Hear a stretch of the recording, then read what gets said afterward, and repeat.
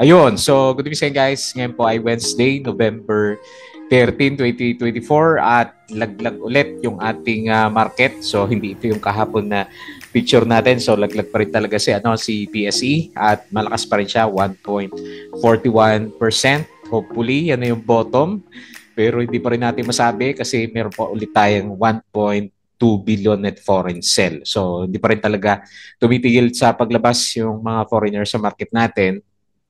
So, nasa more or less uh, ah, 2 billion na lang po yung net foreign buy dito sa market. So, nag-close tayo 6,714.33 may nagtitrade na ba sa inyo o nag-aantay tayo ng ano, tamang bounce ni uh, ah, PSE market natin. So, nagkaroon pa yata ng ano eh, parang bear trap na yata yung nangyari sa kanya kasi nung, nung uh, bago tayo magkaroon ng pre-close, mga 1% lang yata yun. So, bigla nagkaroon pa ng drop during the pre-close period na market natin. So, hopefully, tignan natin kung yan na yung huling uh, bigwas ng foreigners natin kasi second day na nakita natin na pabagsak yung futures ng US market. So kagabi, nag-drop na sila.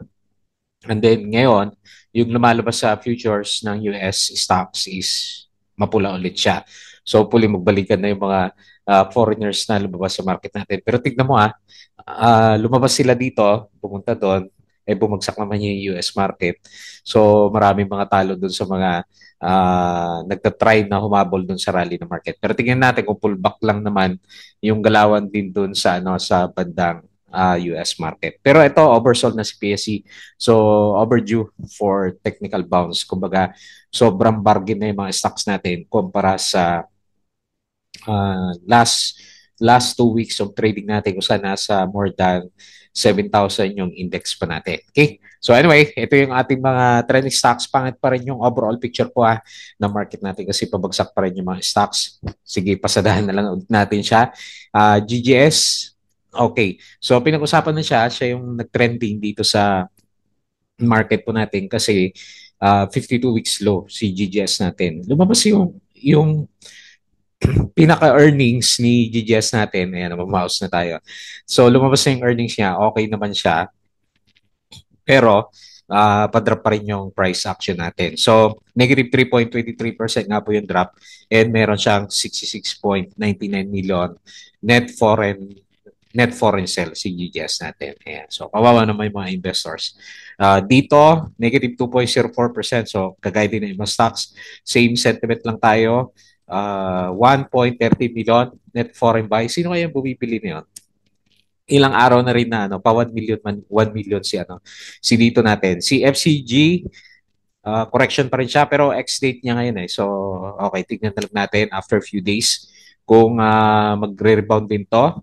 Yung issue niya with regards sa reporting sa PSE So meron na siyang uh, parang reply. So tignan natin kung ano yan. Tapos wala, wala pa rin tayong update kung magkano siya binenta at sino yung sasalo doon mga shares ni Monte kay FCG. Negative 1.3% and meron siyang 3.03 million net foreign buy. Itong CASN, nag-drop siya, nag-drop din. So papakit ng mga stocks talaga. Negative 2.49% and meron siyang 23.08 million net foreign sell MRC. Ayan, ito matindi. So, nag-drop bigla ng 15%. Hindi naman bigla pa. Pa-unti-unti, pero sa isang araw, nag-drop siya ng 15%. Ayan, nagtakbo na. Unahan na sa pag-exit kay MRC. Negative 1.06 million net foreign sale. Uh, URC, bumigay na rin siya. Medyo mababa kasi yung earnings pangit pa yung uh, galawan sa market. Alam ko si Bloom yung ano eh, pinakamalakas yung drop ngayon. So negative 5.9% and meron siyang 150.76 million net foreign sell. Ayan. So puro tayo investor ngayon dito sa uh, ah, PSA market. Kahit yung ano yung crypto, medyo malakas na rin po yung ano yung pullback. Ingat na lang po doon sa mga humahabol sa crypto Uh, disclaimer guys, sa mga bago sa channel natin, as usual, yung ating review is for education purposes lang po yan. So, wag mong gagamit ito as a reason para mag-buy, sell, or hold ng stocks. Meron po kasing risk na involved sa market. Due diligence lang po kung ano stocks yung gusto mo bilhin. And as usual, follow mo na lang po ako dito sa ating Palabi Trader na YouTube channel at subscribe ka dito para updated ka sa mga reviews natin, good times or bad times, namamaos tayo or hindi. Subscribe ka lang po tapos uh, join ka dito sa trading community kung gusto mo ng guide. So yung mga nakasubscribe, maraming salamat po doon sa usual viewers. Ayan, naglag na rin yung, ano, yung views natin sa kanya. Late ako nakapag-upload. Uh, naglolo ko yung ano, eh, recorder ko kagabi. So, pasensya na po. So, check na lang company reviews, mga sample trades sa market, uh, indicators, mga risk management sa market, uh, tsaka yung mga basic na stock market studies. And follow po ako dito sa ating uh, Palaboy Trader Crypto to para sa mga play to games naman natin. So check na po yung mga posts natin dyan. Pero palaglag nga po si, ano, si Bitcoin. Konting ingat na lang po. Tapos sa uh, Facebook account na Palaboy Trader. So check mo lang po yung mga posts or follow po ako para update kayo sa mga posts natin. Crypt, uh, Palaboy Trader Facebook page. Ayan. So same lang mga posts natin. Bodega Peak yung mga articles sa local market, US and pag nag-crypto. Tapos sa uh, Twitter, ano ba yung mga posts natin? Hindi ko pa nakita yung ano eh. Saglit, tanapin ko lang yung summary ni ano, Philippine Stock Exchange natin. Ayan, so ito na. So maganda kasi yung summary nito. Okay. So balik tayo dito and uh, basahin natin. Malakas pa rin yung ano, talagang ano na, uh, lumalabas na po lahat ng ano, yung 15 billion na naipon dito sa market kaya buhos din po yung ano, yung mga stocks natin. So antay na lang ulit tayo kung kailan sila babalik. So another uh, 1.2 billion. So more or less uh, 1 to 2 billion na lang po yung ano, yung foreigners na nandito sa market.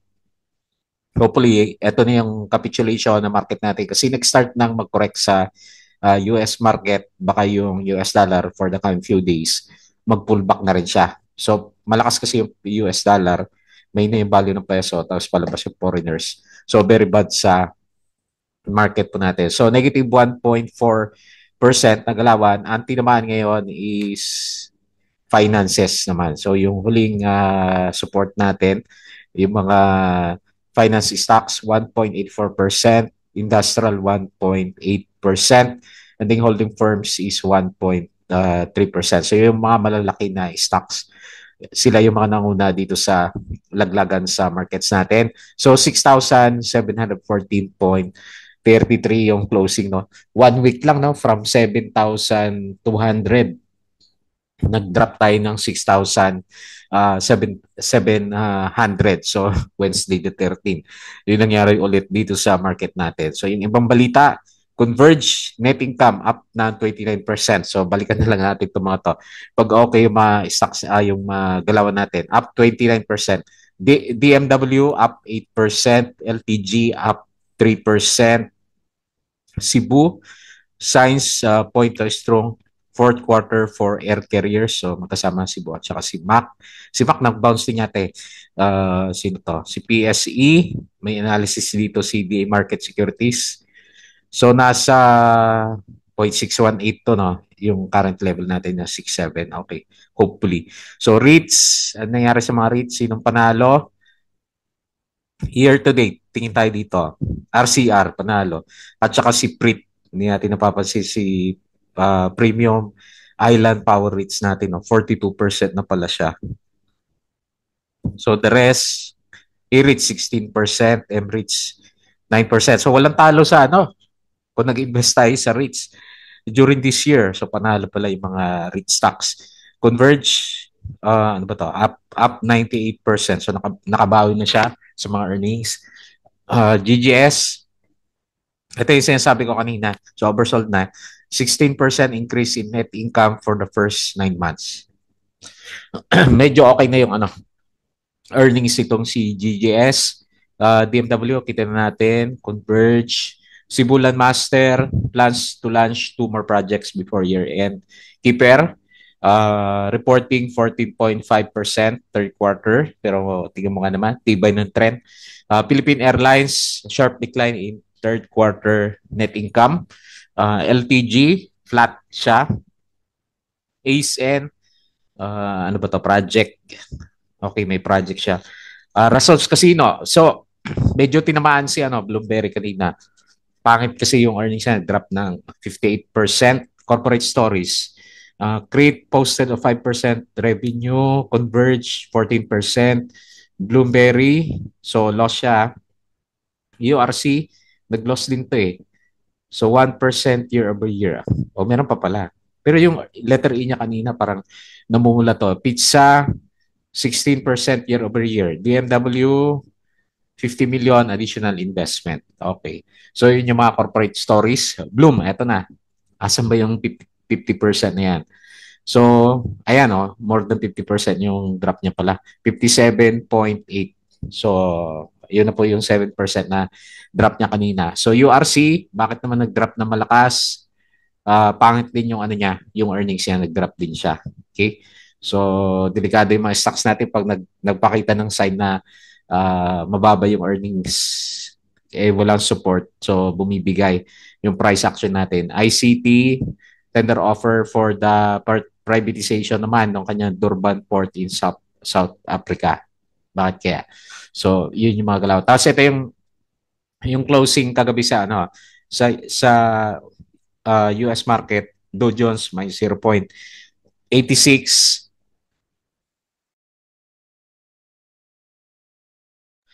S&P 500 0.29 Nasdaq 0.16%. Okay? So, akala ko nung uy, okay na yata sa PSC kasi nag-drop na sa ano eh. US market, hindi pa rin kanina umaga. Pero tingnan natin kasi second day, nagpapakita ng weakness uh, doon sa bandang US market natin. Okay, so guys, ah, yung ating uh, Patreon channel. So double check mo na pa sa mga gusto ng guide sa trading sa Philippine markets. Okay?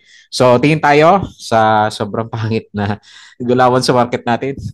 Yung mga galawan na to, panahon lang ng ano eh, itong pandemic yata o parang kaparehas pala nito September uh, 2022 yung uh, galaw natin dito. Hopefully, pag nag-bounce siya, ganito din. Diretso yung bounce niya. Ayan, pag nabalikan yung foreigners natin. Kasi umalis lahat eh. So, siguro, sabi ko sa inyo, 1 to 2 billion na lang. At, uh, okay, tama nga yata yung hinala natin na 6.5, no? Kasi wala pa yung Dow G. Kanina umaga nagda-Dow G siya pero hindi maka Dow G CPSC. So lagay na lang natin 6.5. So although malakas yung pakiramdam natin na pero hindi pa pakiramdam lang na pwede na mag-bounce CPSC kasi oversold na. So hindi pa rin natin nakikita yung Dow G. Ano ba yung nangyari dito last time? Tingnan natin na sa saan yung September na ito ba yon? October, ah ito, ito yun.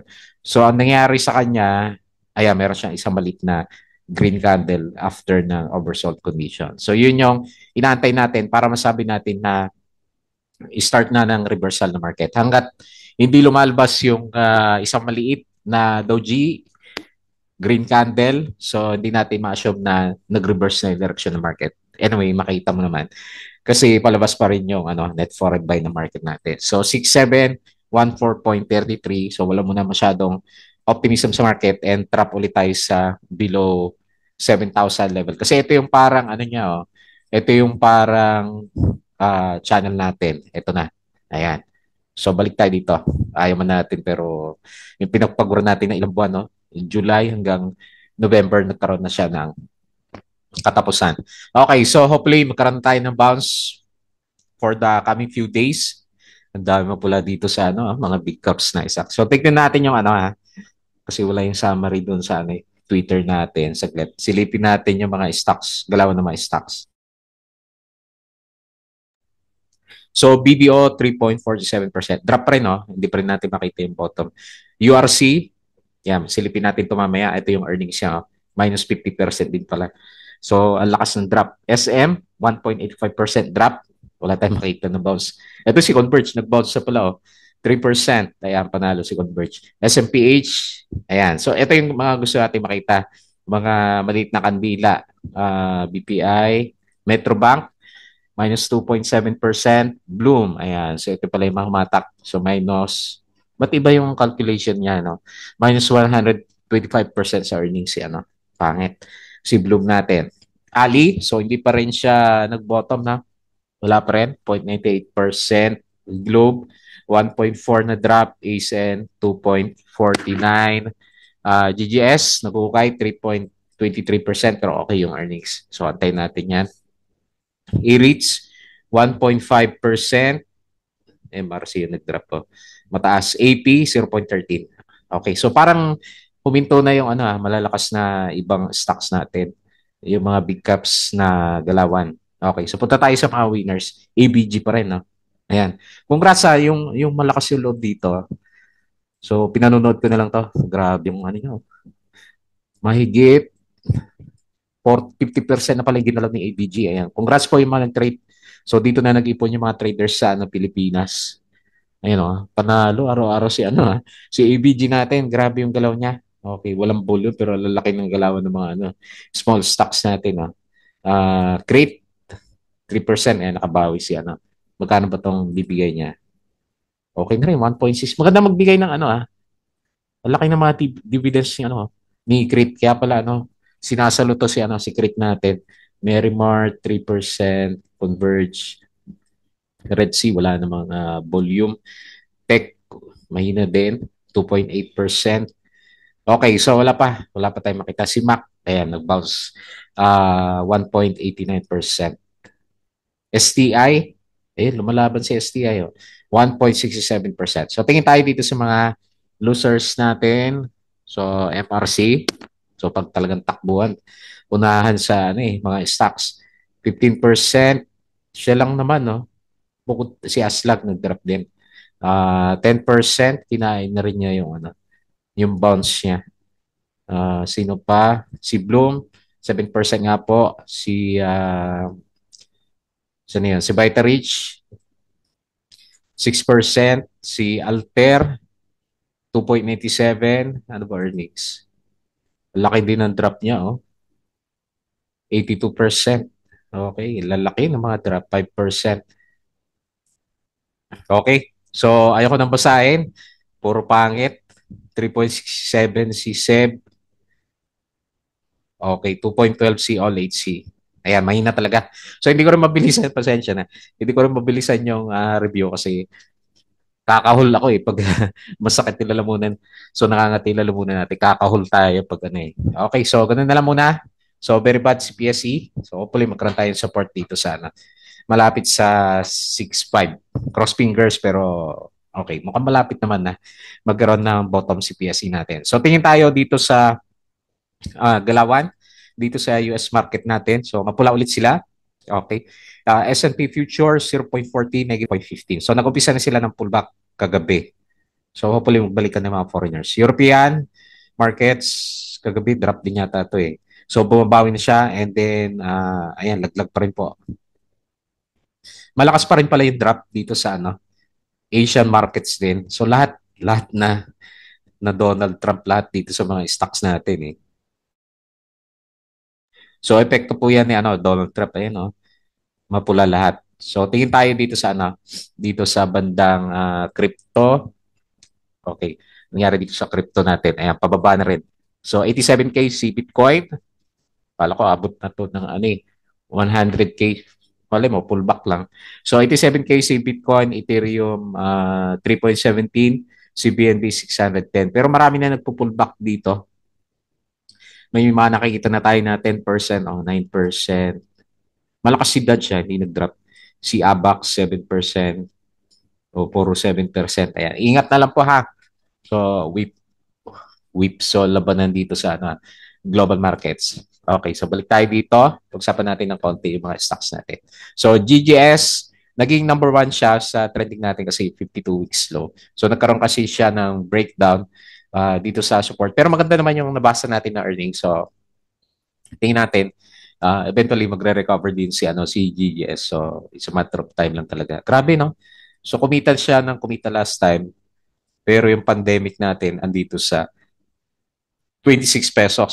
So wala mo na kayo ilalagay na support, di natin alam yan hanggat di nagbabago ng direksyon si PSE. Reference na lang natin, ito yung uh, pandemic period natin at uh, mas mababa na tayo. So dag pa ni GGS yung ano na pandemic 3.23%. So walang walang foreigner confidence. 66 million net foreign sell. So nandito na rin lang naman siya sa oversold condition. So wait na lang po ng konti pero hindi tayo inclined na bumili. Ako personally hindi inclined bumili. Uh, kasi hindi pa natin makita yung ano, bottom ng stock. So hopefully makita natin for the coming few days. Next, uh, si dito, nangyari kay dito. Okay, nag-close the gap. Pinag-usapan to kasi. Uh, medyo nag-close the gap siya dito sa pinag-usapan natin na support kahapon. Tama, no? Ito yung support natin sa kanya kahapon. Pero red candle pa rin. Okay. Pampalubag-loob na lang. Hopefully, yan na yung bottom ng ano ng galawan ni dito natin. And nandito lang siguro tayo sa range range na trading natin na to. Pero so an- kailangan natin another test ng support siguro dito sa ano 1.89. So 2.04% drop 1.13 million net foreign buy. Si GGS uh, 3% drop si GGS natin. Okay, uh, parang nakalimutan ko. Okay, so base dito may na pa, may na pa rin. Hindi natin makita yung ano, optimism ng investor na yun. Ha? So, hindi siya masyadong makit eh, no? Parang niretest niya lang yung 1.5 to ano eh, o 1.622 na ano eh, na range ng galaw niya. Tingnan natin kung ano, magbago yung sentiment ng market. Para-pares naman halos lahat ng stocks maliban kay ano ba yung meron din kay Asia Best Group natin. So 2.04% uh, kailan mo na siguro i-retest yung 1.89 na support. Next, uh, FCG, bibilisan ko na. Okay, so X-date. Okay, meron kayong 3.38% na dividends. Okay, no? So 3% pero drop lang siya ng 1.3%. So 3 million net foreign buy pero kasi bago ma-declare yan eh nag-drop na siya ng halos uh, ah, 12%. So nagkakaroon siya ng support dapat dito sa ano, MA 100. Pero ito yung pinapakita niya, which is parang tama naman. Kasi ito yung range natin sa kanya last time dito sa bandang baba. Okay, so hopefully retest. Wala nang breakdown dito para balik ulit tayo. So, pero kailangan sagutin niya muna yung ano, reporting niya kay P, uh, Philippine Stock Exchange natin. Okay? So, hindi naman siya suspended. So, ongoing pa rin naman yung uh, trading nitong si FCG natin mukhang mag-oversold na rin to, no? Sasabay na rin siguro to sa oversold. Okay, so expect na lang meron tayong uh, rechecking dito sa 0.74. Next, ACN. Buti mo si Converge, no? Nag-recover itong si ACN. Uh, sumabay sa agos ng stocks. So, resistance na yung ano, 4.6 kasi nabutas. Hanap tayong support. Malapit is dito sa 4.1. Ano ba earnings? Drop din pala earnings nito. Negative 23.72%. Eh, oversold na. So, pwedeng hindi na umabot dito, no? So, green candle na lang kailangan niya. Oversold. So, wait na lang tayo sa technical bounce. 2.49% na loss. Uh, 23.08 million net foreign sales si natin. Okay, so wala pa, no? Hindi pa, hindi pa ito sign ng ano, reversal. MRC, Anyari dito kay ano, MRC natin. Ang laki ng drop pa. Ah. So, tinignan ko sa 5-minute chart. Okay naman yung ano niya. Or rather, ibig sabihin, hindi siya okay. Siyempre, pero ano siya talagang unti-unti nag-exit yung ano, mga traders na natin sa kanya. So, expect merong volatility dito kaya uh, uh, MRC natin. 15%, 1 million net foreign sell, hanapin ko na lang yung support niya para sa mga may hawak sa kanya. Gamit na lang po kayo ng ano, uh, Fibonacci. Fibonacci na kailangan natin dito kasi ano to eh, uh, buhos. Okay. Okay, so temporary support ito. Pero kung ako sasalo kay uh, ah, MRC, pwede ako mag-abang ng ano, quick na bounce dito sa ano, 0.76 siguro. No? Pero yan na lang muna. Ayan. So, takot, takot na takot lang yung mga traders natin nagpuntahan ng magkaroon ng exit. So, halos lahat siguro nakalabas na dyan. Malaki yung ano nyo, oh, traded volume. 38 million, uh, 15% loss. So, ito yung maganda abangan bukas kung meron pang uh, breakdown para sa technical uh, technical bounce naman. Okay? And then lastly, si URC. So, same sentiment kay GGS. Pangit yung, o oh, si GGS pala maganda yung earnings. So sa ibang stocks natin, si Bloom pala, so mababa yung earnings niya, minus 50%. Ayan. So support wise, no choice. Mag-aantay tayo ng support. Okay, dito. Meron siya maliit na support dito sa pandemic pandemic period dito sa 82 pesos. Ayan. Abang na lang po bukas yung mga holders natin. Pero pagdating sa trend, uh, bigger trend, wala pa, no? Hindi natin makita. Mas mababa yung pinapakita ng ano, bigger trend natin sa kanya. Hindi natin magguhit kasi hindi natin makita yung ano eh, yung bottom niya. Okay, parang nabutas pa nga niya yung support niya. So, ito na lang, 82.14 na support level natin. Okay? So, cut ko na lang yung review kasi hindi natin mabilisan yung ano. Makatilala muna natin, makatibin yung uh, stocks natin, pa-drop yung uh, galawan. Okay po. So, abang na lang tayo 6,500 uh, levels. Wala pa rin kasi yung foreigners kaya wala tayong expect na bounce sa market for the short term. So, siguro kung, kung ma-burn sila dito sa ano, hindi naman sana sila ma-burn pero kung uh, magsawa na sila dito sa US market then saka siguro tayo makakakita ng magandang bounce uh, dito sa Philippine markets naman. Okay po. So ilan muna uh, today's plan trading natin. As usual bago tayo close, please don't forget to subscribe dito sa ating Palabra Trader na YouTube channel. Join ka sa group guys kung gusto mo ng guide. Crypto ko to, Facebook account, Facebook page, follow mo lang Bodega Peak, Twitter, and Patreon sa mga ng guide sa trading sa Philippine markets. Sali lang po kayo dito. Okay, so yun lang. Maraming salamat. Kita po ulit tayo bukas.